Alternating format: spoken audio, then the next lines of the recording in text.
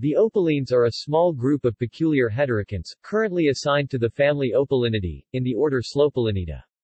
Their name is derived from the opalescent appearance of these microscopic organisms when illuminated with full sunlight. Most opalines live as endocommensals in the large intestine and cloaca of anurans, frogs and toads, though they are sometimes found in fish, reptiles, mollusks and insects. The unusual features of the opalines, first observed by Antoine van Leeuwenhoek in 1683, has led to much debate regarding their phylogenetic position among the protists. Taxonomy and phylogeny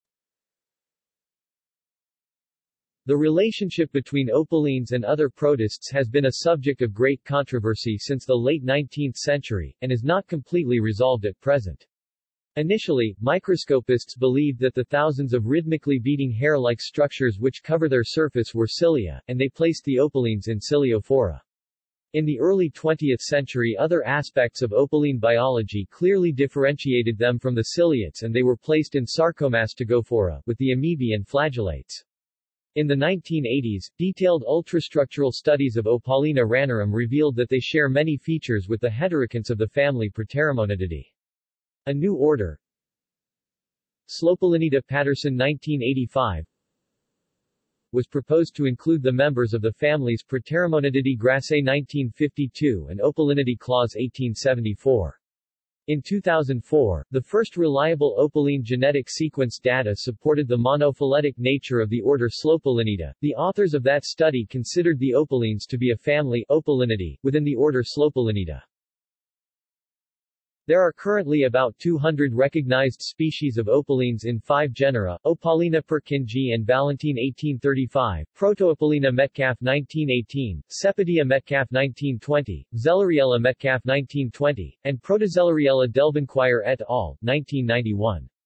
Two additional genera, Hegneriella Earl 1971 and Bezzenbergeria Earl 1973, have not been considered as valid by subsequent authors. p. 249. The five recognized genera differ in terms of the number of nuclei, the appearance and location of the falx, two short, sickle-shaped rows of flagella, and whether the long rows of flagella, called kineties, cover the body evenly or if there is a bald spot Due to the differences in body shape among the different life cycle stages within a species, the use of overall body shape, whether flat or cylindrical, to differentiate the genera has been de-emphasized.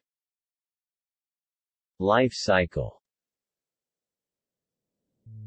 Like many parasites, the life cycle of opalines is rather complex. 1.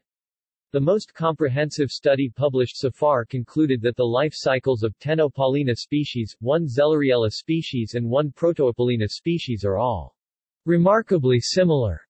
p. 321. A more recent study found that Cepedea coulardi fits the standard opaline life cycle model described below, while that of Opalina proteus is completed entirely in the tadpole stage of the host. Very little is known about the life cycles of opalines in fish, reptile or arthropod hosts. Asexual phase in adult Anuran host. The basic opaline life cycle begins with the large, multinucleate trophonts in the adult Anuran cloaca. Through much of the year, the trophonts grow and divide continually to yield more trophonts. Nuclear divisions maintain the appropriate number of nuclei during this phase. As the host's breeding season approaches, the trophonts enter a phase known as palintomy, a series of cell divisions with little or no overall growth or nuclear divisions. The resulting opalines, which become gradually smaller with fewer nuclei per individual, are called tomonts. At some point the small tomonts undergo encystment, and the cysts are released into the environment i.e. the breeding pool of the Anuran host, along with the feces. Sexual and asexual phases in larval Anuran host. Once cysts are eaten by foraging tadpoles, they excyst hatch to yield gametes. The gametes divide further, including a meiotic division, to yield haploid gametes. Each gamete has only one nucleus and may be either a microgamete or a macrogamete. Conjugation occurs between one microgamete and one macrogamete, to yield a diploid zygocyst with one nucleus.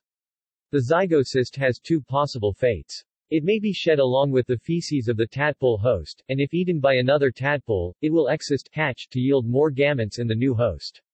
Alternatively, the zygocyst may excyst in its original host and grow into a multinucleate protrophont. In this case, the protrophont grows into a trophont and the whole cycle starts over again.